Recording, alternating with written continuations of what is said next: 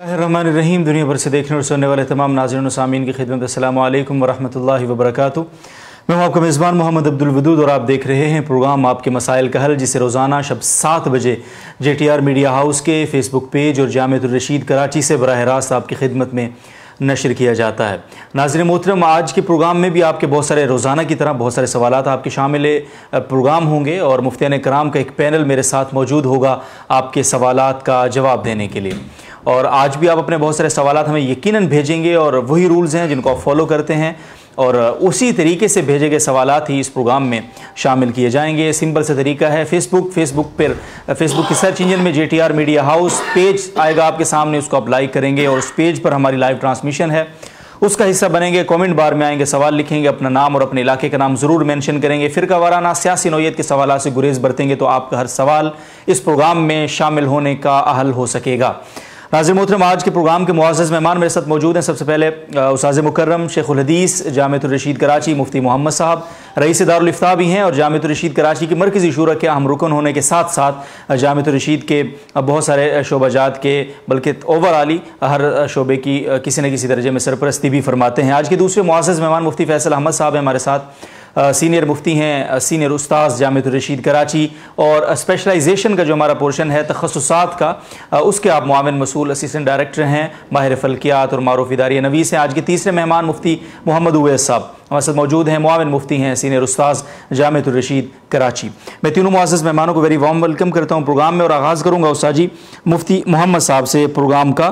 اور پہلا سوال آپ سے پوچھا ہے استاد جی ام ادریس صاحبہ نے سندھ سے۔ اور وہ یہ پوچھتی ہیں اگر کوئی ناپاک بیڈ شیٹ پاک کر کے نہیں دھوئی اور ایسے ہی بچھا دی اور پھر کچھ کچھ دنوں کے بعد ایسے ہی دھو لی اور ایسا کئی بار کیا تو کیا وہ بلا نیت اس طرح دھونے سے پاک شمار ہوگی؟ بسم اللہ الرحمن الرحیم نحمد ونصلی اللہ رسول الکریم۔ چادر ایک دفعہ دھوئی اور اسے شرعی طریقے سے پاک نہیں کیا۔ جی۔ اور اس کے بعد بچھا دی پھر کچھ عرصے کے بعد دھوئی اور پھر اس طرح پاک نہیں کیا شرعی طریقے سے۔ تو اگر درمیان میں پھر کوئی ناپاکی اس پر لگی ہے تو پھر تو یہ پاک نہیں ہوگی۔ آپ جتنی مرتبہ بھی دھوتے رہیں گے اگر درمیان میں پھر اس کو ناپاک کرتے رہیں بچے پیشاب کرتے رہیں تو وہ ناپاک ہی رہے گی۔ صحیح۔ اور اگر درمیانی وقفے میں وہ کوئی نئی گندگی اس پر نہیں لگتی جی۔ تو پھر جب تین دفعہ آپ دھو لیں گے اور اطمینان ہو جائے گا کہ جو نجاست اس کو دو مہینے پہلے لگی تھی وہ بہ کر صاف ہو گئی ہے اس سے نکل گئی ہے تو وہ پاک ہو جائے گی۔ سر بہت شکریہ۔ جزاکم اللہ۔ ریاض سے محمد یوسف صاحب کا سوال ہے سنا ہے کہ دب کر مرنے والا اور ڈوب کر فوت ہونے والا شہید ہوتا ہے۔ اگر وہ بے نمازی ہو تب بھی وہ شہید ہی کہلائے گا۔ جی پھر بھی وہ شہید ہی ہوگا۔ اس لیے کہ یہ شرط نہیں وہاں لگائی گئی کہ جو دب کر مرے گا ڈوب کر مرے گا اگر وہ نمازی ہوگا تو شہید ہوگا ورنہ نہیں ہوگا۔ شہید تو ہوگا وہ لیکن نماز نہ پڑھنے کی پوچھ اس سے ہوگی۔ جو شہید ہوتا ہے میدان جہاد میں اس کے بارے میں تو حدیث سے مفہوم یہ ہوتا ہے کہ اس کا حساب کتاب نہیں ہوگا۔ الدین کا بعض روایات میں استثناء ہے لیکن بعض روایات میں اس کے بارے میں بھی یہ ہے کہ اللہ تعالیٰ جو قرض خواہ ہے اس کو اپنی طرف سے خوش کر دیں گے اور شہید کو جنت میں بھیج دیں گے۔ لیکن یہ جو ڈوب کر مرنے والا ہے دب کر مرنے والا ہے اس کو بہرحال اپنے دوسرے اعمال سیاح کا گناہوں کا حساب کتاب دینا پڑے گا اور اس کا عذاب چکھنا پڑے گا۔ ویسے اللہ تعالیٰ کسی کو بھی معاف فرما دے جی تو الگ بات ہے لیکن ضابطہ نہیں ہے۔ ضابطہ نہیں بہت بہت شکریہ۔ جزاکم اللہ۔ زاہد صاحب کا سوال ہے افغانستان سے۔ کہتے ہیں جی کہ ایک آدمی پکا ٹھکا مسلمان ہے عام لائف میں لیکن فوت ہوتے وقت اس کو کلمہ نہیں پڑھا انہوں نے۔ تو کیا مسلمان ہی شمار ہوں گے؟ جی بالکل مسلمان شمار ہوگا اور یہ بہت بڑی غلط فہمی بعض لوگوں کو ہے کہ جسے مرتے وقت کلمہ ظاہری طور پر نصیب نہ ہو اور لوگوں کو سنائی نہ دے تو وہ ایمان کے بغیر گیا۔ یہ بات بالکل غلط ہے۔ اس کے دل میں ایمان موجود ہے۔ جب تک اس کے ختم ہونے کا کوئی اور یقینی ذریعہ نہ ہو تو ہر مرنے والے کو مسلمان ہی سمجھنا چاہیے۔ ٹھیک۔ اور بعض اوقات اس کے کئی اسباب ہوتے ہیں کہ آدمی زبان سے اونچی آواز سے کلمہ نہیں پڑھ پاتا لیکن اس کے دل میں موجود ہوتا ہے۔ ٹھیک۔ تو اس لیے اس کو مسلمان ہی سمجھا جائے گا اور اس کو جتنے بھی اس کے حکام ہوں گے وہ مسلمانوں والے ہوں گے۔ بہت شکریہ جی۔ جزاکم اللہ۔ مختار صاحب سعودی عرب سے کہتے ہیں جی کہ نماز ظہر اور عصر میں قرات کیوں نہیں کر سکتے؟ جبکہ مغرب عشاء اور فجر میں قرات کرتے ہیں تو کیا فرق ہے؟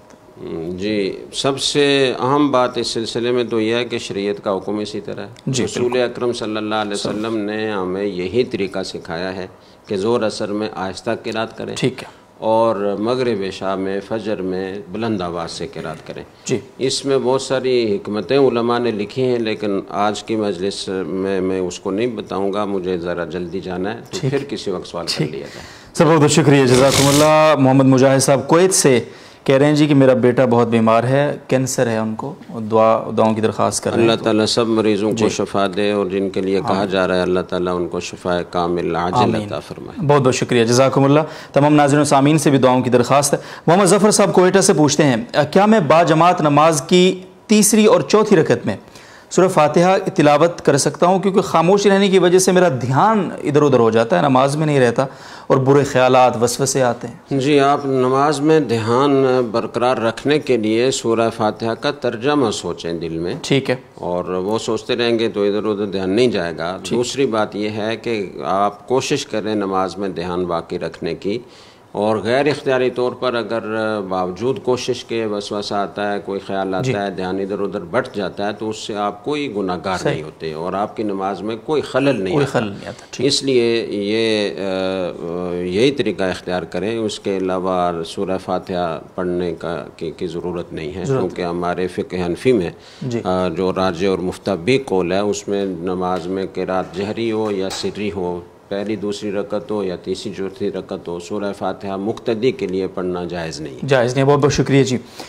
جزاکم اللہ محمد جنید صدیقی صاحب انڈیا سے پوچھتے ہیں تشہد جب ہم پڑھتے ہیں تو شہادت کی انگلی اٹھاتے ہیں تو وہ پوری اٹھانی چاہیے یا کچھ گرانی پوری گرا دینی چاہیے یا کچھ اٹھی ہوئی رکھنی چاہیے؟ ایک تو یہ سوال ہے۔ جی۔ دوسرا یہ کہ فجر اور عصر کی نماز کے بعد رسول اللہ صلی اللہ علیہ وسلم کا جو مقتدیوں کی طرف منہ کر کے بیٹھنے کا معمول تھا وہ زیادہ تر مشرق شمال جنوب کس طرف تھا زیادہ؟ مطلب جی میں پہلے سوال کا جواب تو یہ ہے کہ شہادت کی انگلی اٹھاتے ہوئے تو پوری اٹھانی چاہیے۔ اشہد اللہ پر اٹھانی چاہیے اور اللہ اللہ پر کچھ گرا دینی چاہیے کہ ان دونوں انگلیوں کی سطح برابر ہو جائے۔ ٹھیک ہے۔ بالکل پوری نہیں گرانی چاہیے۔ یہ پہلے تفصیل سے اس پر میں گفتگو کر چکا ہوں اور شاید اس کا کلپ بھی بنا ہوا ہے وہ سنا جا سکتا ہے۔ جی۔ دوسرے سوال کا جواب یہ ہے کہ آپ صلی اللہ علیہ وسلم کبھی دائیں طرف سے مقتدیوں کی طرف پھر بیٹھتے تھے۔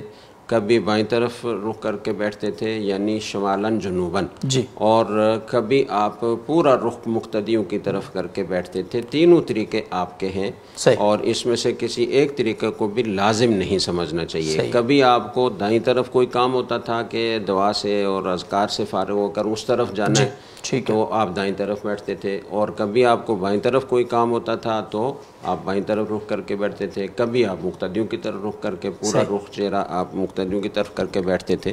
تو کسی بھی ایک طریقے کو لازم اور ضروری نہیں سمجھنا چاہیے لیکن حدیث سے معلوم ایسے ہوتا ہے اقبل علینہ بوجہ ہی زیادہ تر آپ کا معمول پورا چہرہ مقتدیوں کی طرف کر کے بیٹھنے کا تھا۔ جزاکم اللہ بہت شکریہ۔ محمد شعیب صاحب انڈیا سے سوال کر رہے ہیں۔ آیات شفا کا پڑھنا کیسا ہے؟ کیا یہ ثابت ہے اور یہ کون سی آیات ہیں یہ؟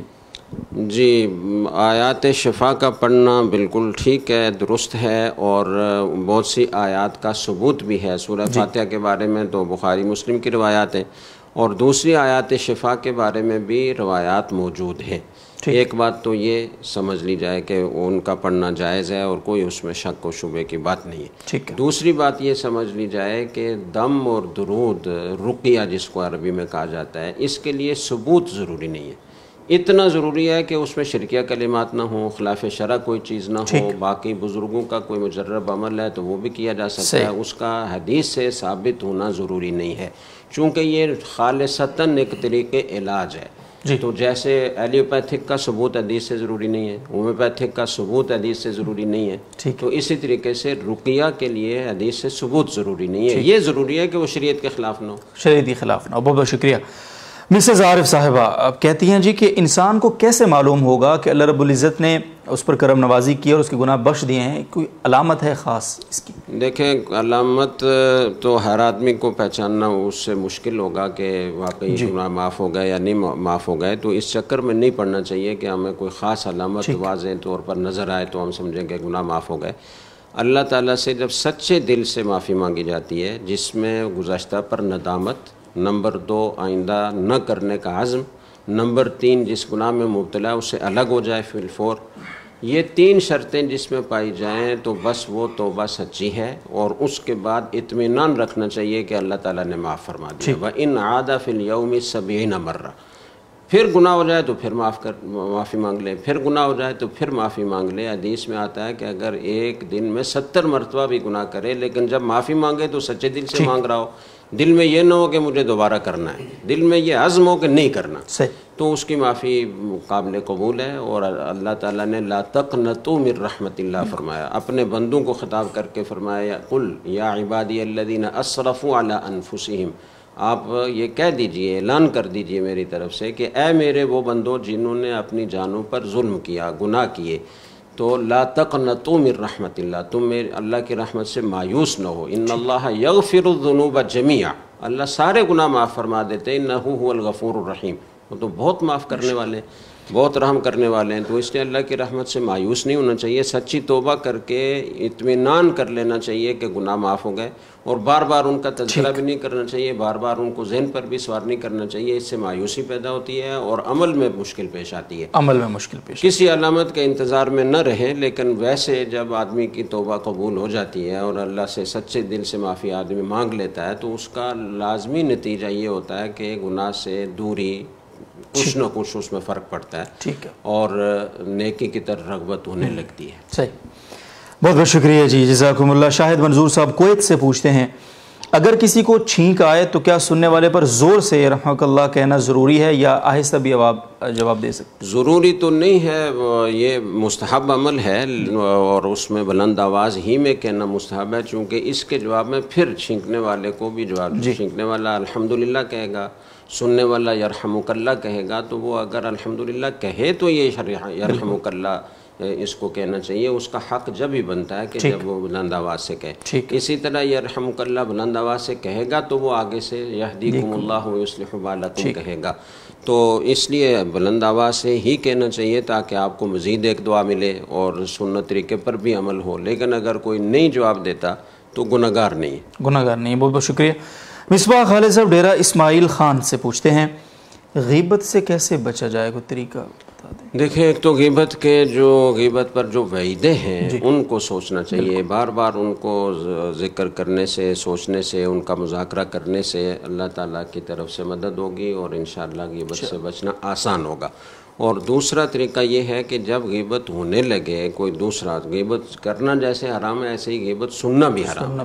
تو اس وقت بات کو بدل دیا جائے کوئی دوسرا موضوع شروع کر دیا جائے تو حفاظت ہو جاتی ہے۔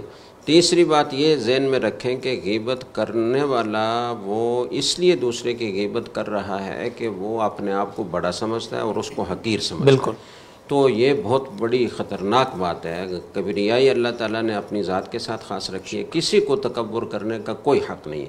اور یہ سوچنا چاہیے کہ میں پتہ نہیں کتنے گناہ گناہ کرتا ہوں اور جس کی میں غیبت کر رہا ہوں وہ ایک برائی میرے سامنے ہے، لیکن کیا پتہ اللہ تعالیٰ سے اس کا کیسا تعلق ہو اور کس کی کتنی نیکیاں اللہ تعالیٰ کو اتنی پسند ہوں کہ میری نسبت اس کا مقام اللہ کے نزدیک بہت بلند ہو۔ تو اس طرح غیبت سے حفاظت ہوگی۔ حفاظت ہو سکتی ہے جی بہت بہت شکریہ۔ محمد الیاس صاحب ابو زہبی سے سوال پوچھ رہے ہیں اگلا۔ شریعت کی روح سے اللہ رب العزت کی ذات پر توکل کرنے کا اصل اور صحیح مطلب کیا ہے؟ صحیح مطلب یہ ہے کہ اسباب اختیار کریں اور نظر اللہ پر رکھیں کہ ان اسباب میں تاثیر پیدا کرنا یہ اللہ تعالیٰ کا کام ہے۔ اللہ تعالیٰ کے حکم سے ان میں تاثیر پیدا ہوگی۔ اللہ نہیں چاہیں گے تو نہیں ہوگی۔ کوئی آدمی بیمار ہو گیا دوا لے رہا ہے تو اسباب اختیار کر رہا ہے۔ یہی حکم ہے ہمارے لیے کہ ہم دنیا میں رہتے ہوئے اسباب اختیار کریں۔ ان اسباب میں تاثیر پیدا کرنا اللہ تعالیٰ کا کام ہے۔ اللہ چاہیں گے تو ان دعاؤں سے شفا ہوگی نہیں چاہیں گے تو نہیں ہوگی۔ تو توکل کا مطلب ترک اسباب نہیں ہے۔ ترک اسباب نہیں ٹھیک ہے۔ اسباب اختیار کر کے نظر اللہ پر رکھنا نتیجہ اللہ پر چھوڑنا یہ توکل یہ توکل۔ بہت بہت شکریہ جی۔ جزاکم اللہ۔ اور مفتی فیصل احمد صاحب کی خدمت میں جاؤں گا سوال لے کر. پہلا سوال ارمان علی صاحب کا سعودی عرب سے. کیا یہ بات صحیح ہے کہ چینگم میں سور کی چربی شامل ہوتی ہے اس کی مینوفیکچرنگ میں جبکہ اکثر لوگ اسے چباتے کھاتے نظر آتے ہیں سر؟ بسم اللہ الرحمن الرحیم۔ چوئنگم کے اندر جلیٹن تو نہیں ہوتی جی۔ اور عام طور پہ یہ خطرہ جو ہوتا ہے وہ جیلیٹن کی وجہ سے ہوتا ہے۔ ٹھیک ہے۔ جیلیٹن کی جو مصنوعات ہوتی ہیں اس میں یہ جو بچوں کی جیلیاں ہوتی ہیں یا اس قسم کی چیزیں ہیں جو یعنی چپکنے والی اور اس طرح کی نرم اور لچکدار چیزیں جو ہوتی ہیں تو اس کے اندر جیلیٹن ہوتا ہے۔ تو جیلیٹن جہاں ہو وہاں پہ تو خیر بہت دیکھنے کی ضرورت ہوتی ہے۔ چنگم کے اندر جیلیٹن نہیں ہوتی تو لہٰذا اس میں سور کی چربی بظاہر نہیں ہونی چاہیے۔ ٹھیک ہے۔ البتہ اگر نیٹ پہ دیکھیں تو انڈیا وغیرہ میں بعض جگہوں پر اس طرح کے سوالات اٹھائے گئے کہ اس میں جو ہے نا سور کی چربی کو خصوصی طور پہ شامل کیا گیا۔ اچھا۔ تو یہ جن جگہوں پر یہ افواہوں کے درجے میں ہوں تو اس کی وجہ سے تو ہم اس کو حرام نہیں کہیں گے۔ کیونکہ اصل میں اس کے اندر یعنی حلال طریقوں سے بنانے کے بہت سارے ذرائع ہیں جی۔ حرام طریقے سے بننا متعین نہیں ہے۔ صحیح۔ البتہ اس کے بارے میں اگر ہماری کوئی ایسی معلومات کی سورس ایسی یا یقینی ہو یا بہرحال مستند ہو کہ ہم اس پر اعتماد کر سکتے ہیں کہ ہاں یہ ان کی معلومات بہتر ہیں۔ جی۔ تو پھر اس کو اوائڈ کرنا ہوگا۔ تو ظاہر مخصوص چنگم ہوگی ہر چنگم نہیں ہوگی۔ تو لہٰذا چنگم جو ہے اس لحاظ سے اس میں حرمت نہیں ہے۔ لیکن خود چنگم جو ہے وہ بچوں کے لیے نقصان دہ ہوتی ہے اس سے بچنا چاہیے۔ طبی اعتبار سے ٹھیک۔ سر بہت بہت شکریہ۔ محمد عثمان صاحب اتر پردیش انڈیا سے۔ کیا غیر مسلم کے ہوٹل پر کھانا کھانا درست ہے؟ کھا سکتے جی یہ اتر پردیش سے سوال ہے ظاہر کہ پاکستان میں تو غیر مسلم کے ہوٹل سے بھی اگر کھایا جائے تو عام طور پہ وہاں پر وہ حلال کا احترام اہتمام کرتا ہے۔ اور اس بارے میں مختلف یعنی یقین دہانی کی صورتیں بھی اختیار کرتا ہے۔ لیکن باہر ممالک میں ظاہر ایسا نہیں ہوتا۔ اس میں اصول سمجھ لینا چاہیے۔ ایک تو یہ کہ اگر گوشت یا یہ چکن یا گوشت یا اس قسم کی کوئی چیز ہے جانور کا گوشت ہے تو اس کا کھانا غیر غیر مسلم کے گھر سے یا غیر مسلم کے ہوٹل سے یہ جائز نہیں ہے اگرچہ وہ یہ کہتا بھی ہو کہ یہ حلال ہے۔ ٹھیک یعنی خالی اس غیر مسلم کی خبر سے یا اس غیر مسلم کے کوئی نوکر ہوں اور وہ بھی غیر مسلم ہو تو ان کی خبر سے اس کا حلال ہونا یہ ثابت نہیں ہو ٹھیک ہے۔ اور اگر اس کے جو ملازمین ہیں اس کے اندر مکس ہوں کچھ مسلمان بھی ہوں کچھ غیر مسلم بھی ہوں جی۔ اور وہ مسلمان جو ہے وہ اس کی خبر دے رہے ہوں کہ یہ حلال ہے۔ اور بظاہر وہ علاقہ ایسا ہے جہاں پر مسلمان جو ہے دباؤ میں ہیں۔ جی۔ تو وہ ظاہر کے مالک کے خلاف بات نہیں کر سکتے تو وہاں پر بھی کھانا ٹھیک نہیں ہوگا۔ صحیح۔ البتہ کوئی ایسی جگہ ہے جہاں پر جیسے پاکستان وغیرہ یا مسلم ممالک ہے وہاں کسی غیر مسلم کا ہوٹل ہے۔ اور وہ نہیں چاہتا کہ اس کے مسلمان جو کلائنٹ ہیں وہ کٹیں۔ جی۔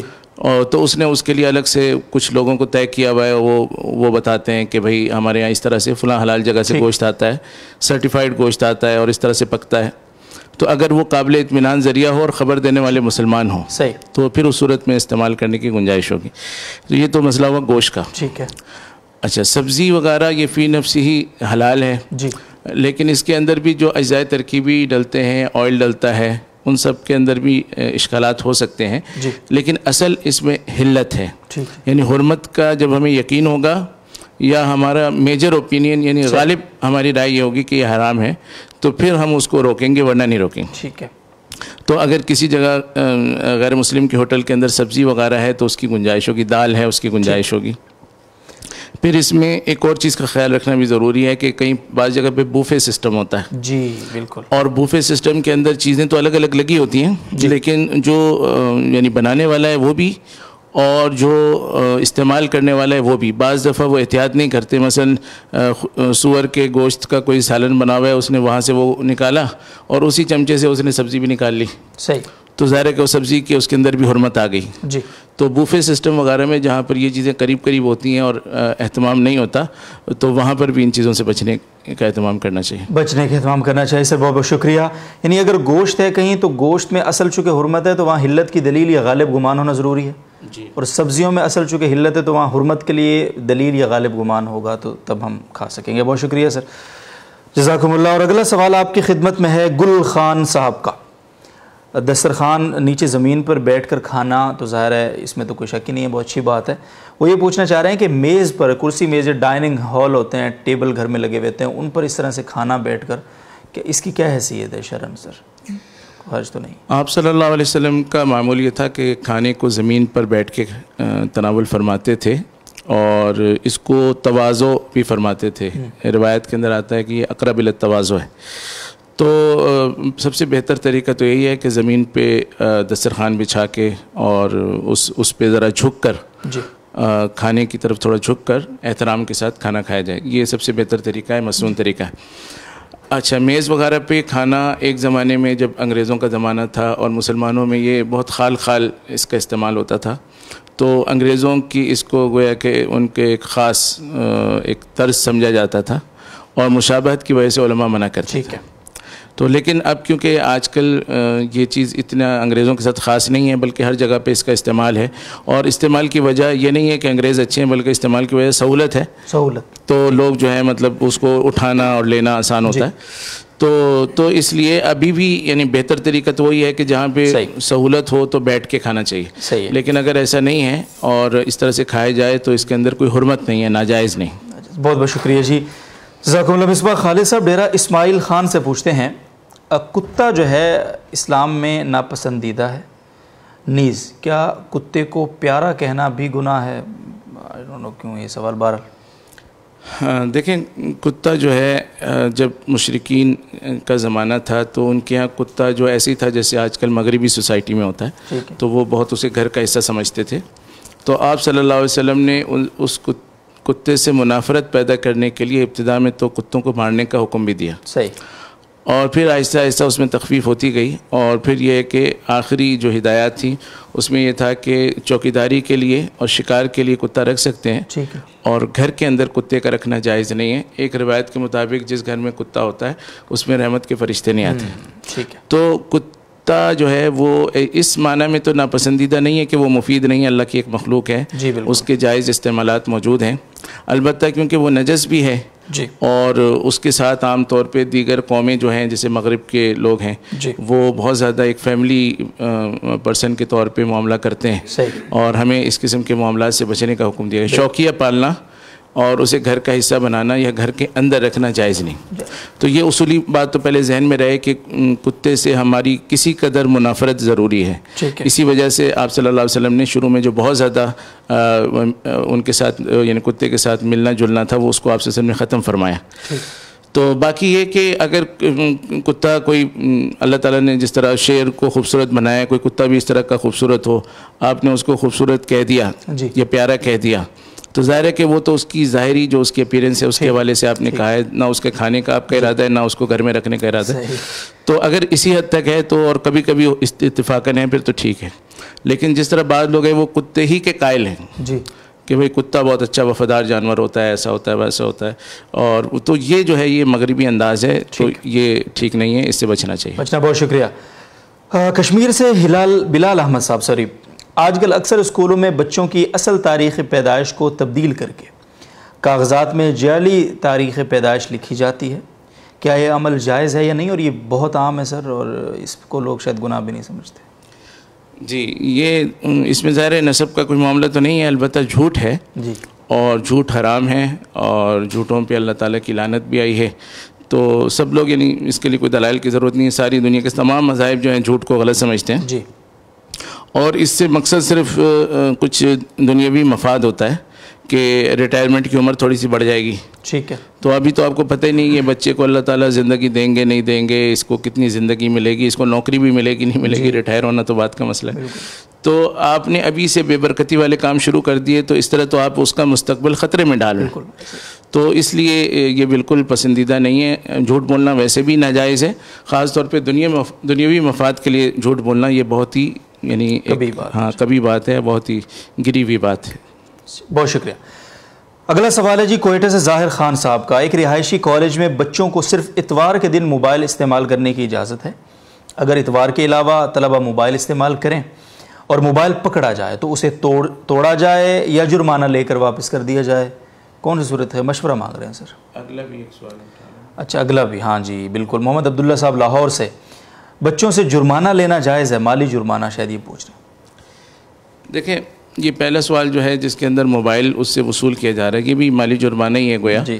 اس کا مال جو ہے وہ اس کی اجازت کے بغیر جو ہے اس کو لیا جا رہا ہے اور اس کو ضائع کیا جا رہا ہے۔ تو مالی جرمانہ جو ہے یہ شرن جائز نہیں۔ ٹھیک ہے۔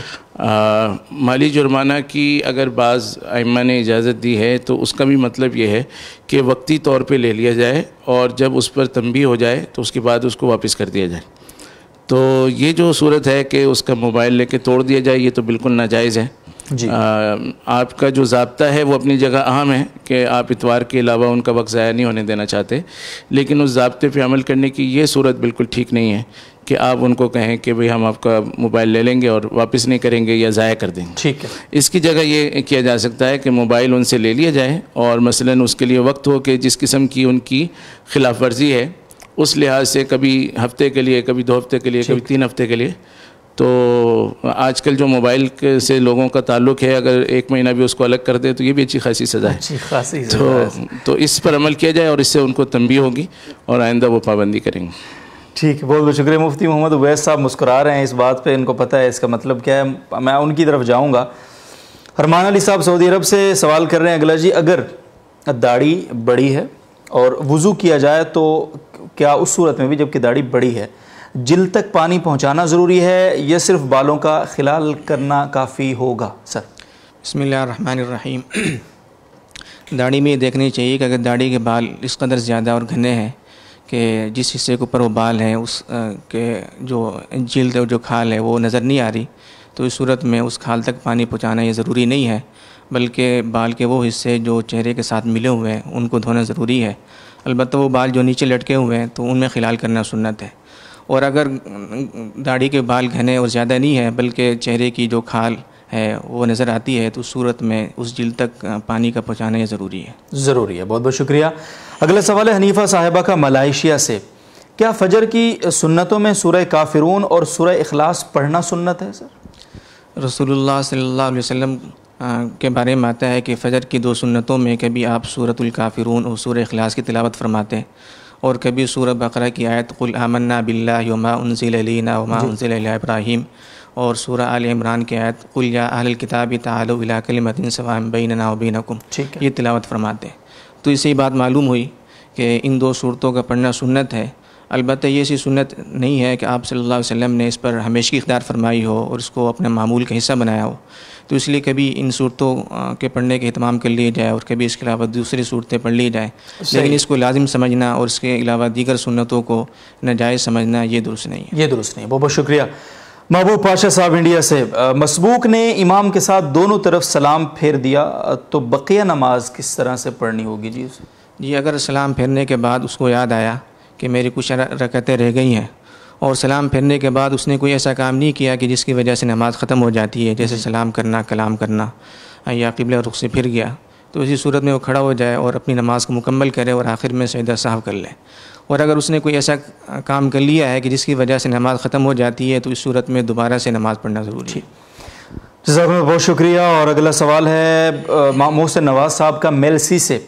اور یہ سوال کرسی پر نماز پڑھنے کے متعلق ہے اور ناظرین محترم، یہ اس پر مفتی طارق مسعود صاحب نے ایک دفعہ بڑی ڈیٹیل سے بحث کی تھی اور وہ ہمارے پیج پہ شارٹ کلپ بھی یقیناً موجود ہوگا کہ کرسی پر نماز پڑھنے کے باقی جو مسائل ہیں کہ سجدہ کیسے کریں گے یا رکوع کیسے کریں گے، وہ تو ایک الگ بات ہے، لیکن سب سے پہلے جو بات ضروری ہے وہ یہ اساجی نے اس وقت بڑی تفصیل سے اس سے بات کی تھی مفتی طارق مسعود صاحب نے کہ یہ دیکھنا ہوگا کہ کیا ہماری جو کیفیت ہے وہ ہمیں اس، یہ اس کیفیت میں ہم ہیں کہ کرسی پر نماز پڑھنا ہمارے لیے جائز بھی ہے؟ بس اوقات بہت چھوٹی سی بیماری اور چھوٹی سی تکلیف ہوتی ہے اور ہم کرسی پر بیٹھ جاتے ہیں تو یہ بھی دیکھنا ضروری ہے، یہ مسائل پوچھنے سے۔ پہلے بہرحال وہ کلپ آپ دیکھیں اور میں یہ سوال بھی پوچھ رہا ہوں۔ کہتے ہیں جی کرسی پر نماز ادا کی جائے تو سجدے کا اشارہ کرنے کے لیے کتنا جھکنا ہوگا جی؟ جی فقہ نے اس میں کوئی حد بندی نہیں کی کہ رکوع کے لیے اتنا جھکا جائے اور سجدے کے لیے اتنا جھکا جائے۔ صحیح۔ البتہ اتنی بات لکھی ہے کہ جو سجدے کا اشارہ ہو جو سجدے میں جھکاؤ ہو وہ رکوع کے مقابلے میں زیادہ ہو۔ ٹھیک۔ تو اس لیے اگر اس بات کی رعایت کر لی جائے کہ رکوع میں جتنا جھکا گیا ہے سجدے میں اس کے مقابلے میں تھوڑا زیادہ جھکا جائے تو رکوع بھی ادا ہو جائے گا اور سجدہ بھی ادا ہو جائے گا۔ ٹھیک۔ بہت بہت شکریہ سر جزاکم اللہ۔ اور اگلا سوال بھی آپ ہی کی خدمت میں آ رہا ہے۔ اور سوال ہم سے پوچھا ہے محمد عبید اللہ صاحب نے انڈیا سے۔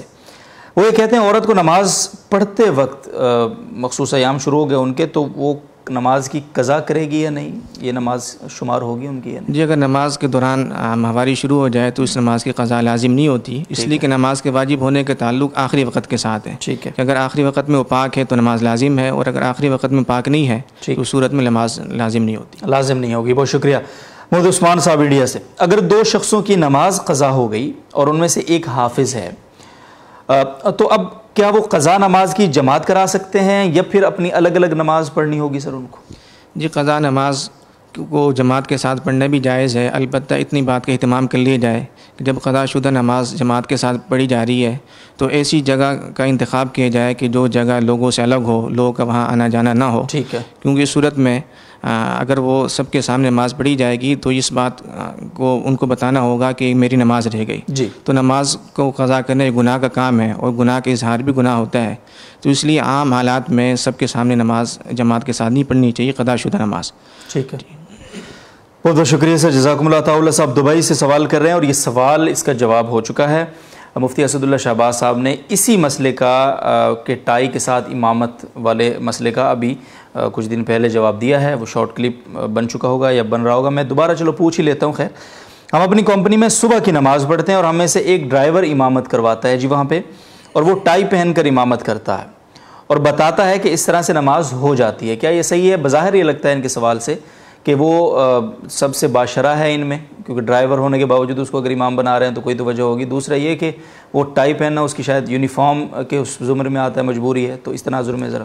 جی بہتر تو یہ ہے کہ نماز کے لیے ایسے شخص کو امام بنایا جائے کہ جس کی وضع قطع اور لباس مسلمانوں کے جو نیک صلحہ لوگ ہیں ان کی طرح ہوں۔ ٹھیک ہے۔ لیکن اگر کوئی ایسی صورتحال پیش آ جائے کہ وہاں پر کوئی اور نماز پڑھانے والا نہیں ہے اور ایسے شخص یہ ہے کہ جو پینٹ شرٹ کے اندر ملبوس ہے جی۔ اور پڑھنے والے بھی یہی ہیں تو ایسی صورت میں ایسے شخص کو امام بنانا اور اس کی اختتام نماز پڑھنے کی گنجائش ہے۔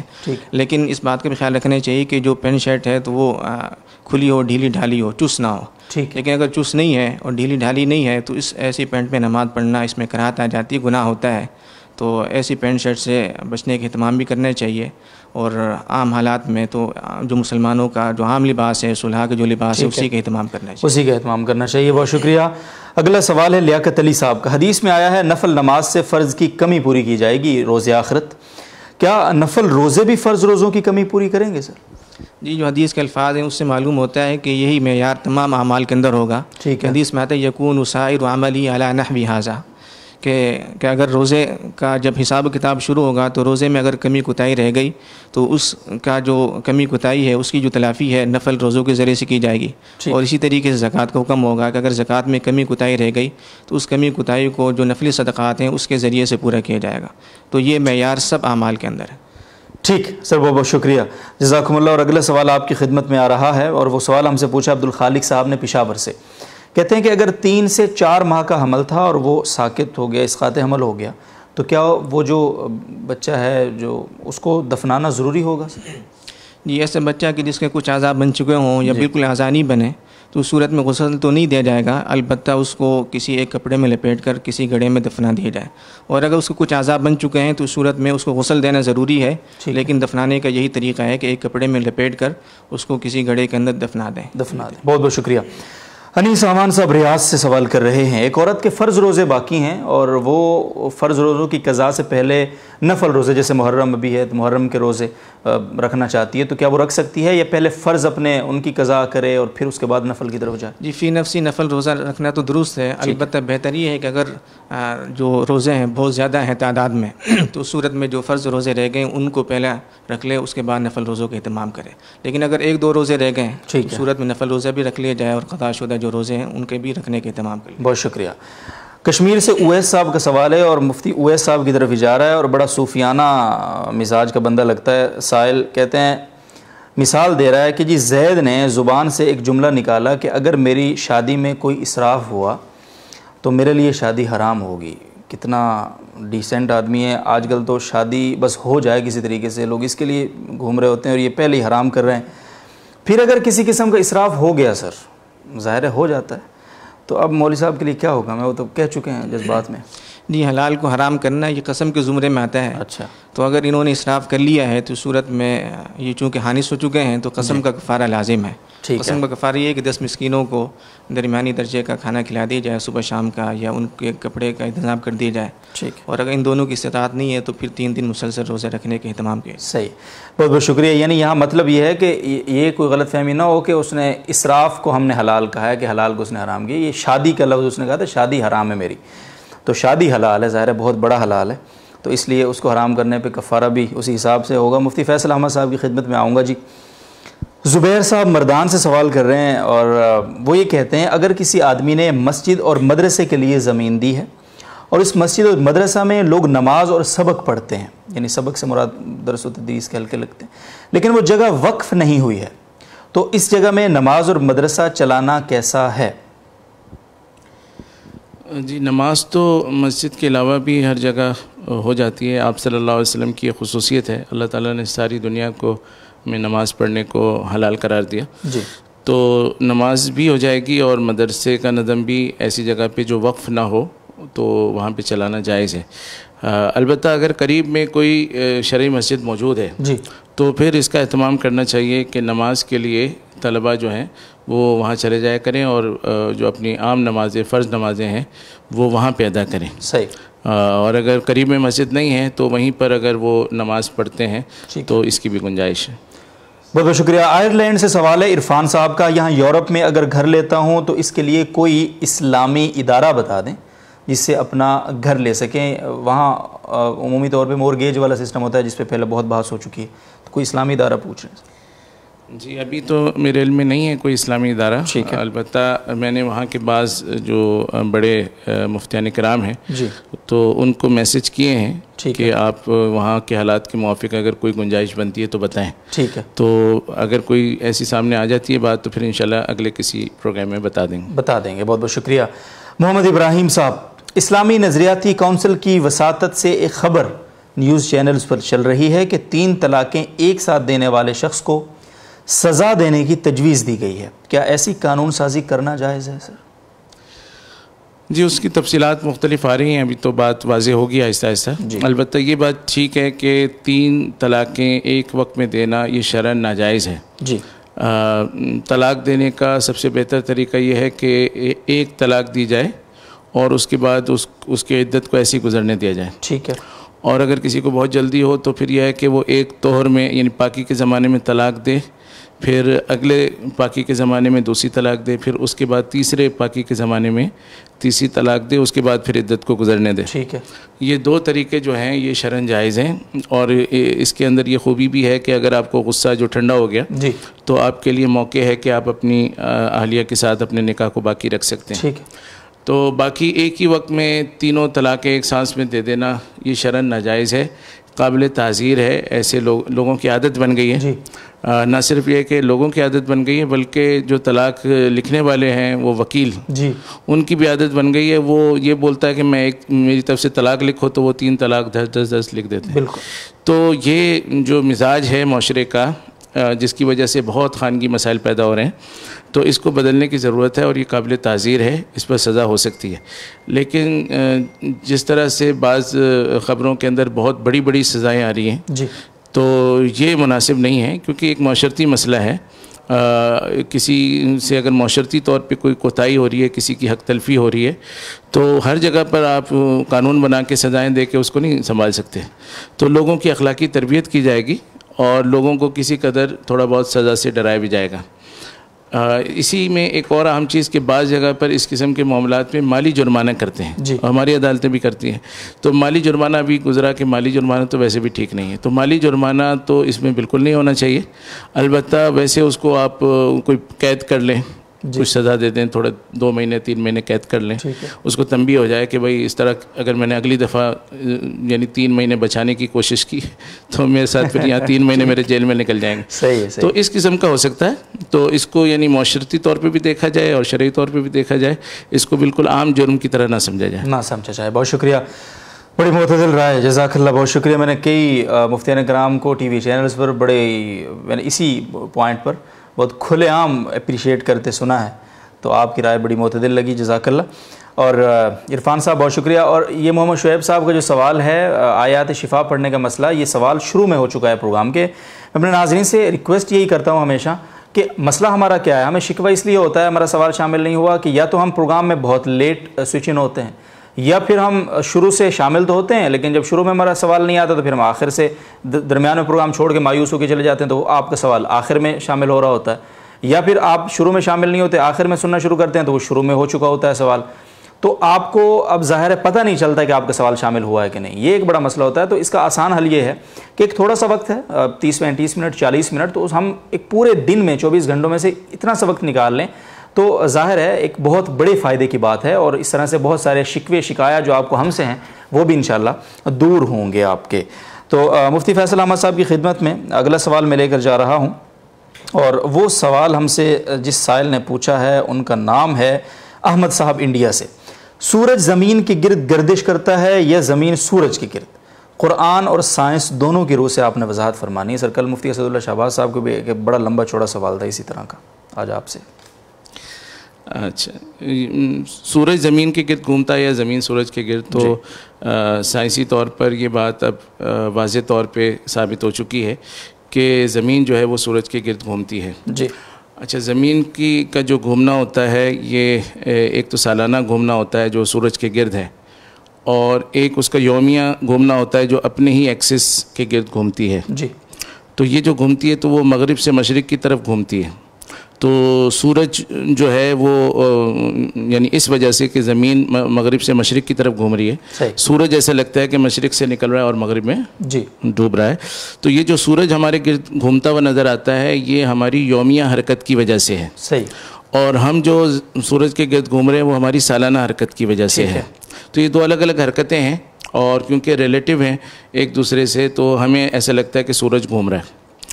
تو سائنسی لحاظ سے تو یہ بات واضح ہے کہ سورج جو ہے وہ زمین کے گرد نہیں گھوم رہا بلکہ زمین سورج کے گرد گھوم رہی ہے۔ اور انہوں نے کہا کہ قرآن کریم کے لحاظ سے بھی بات واضح ہو۔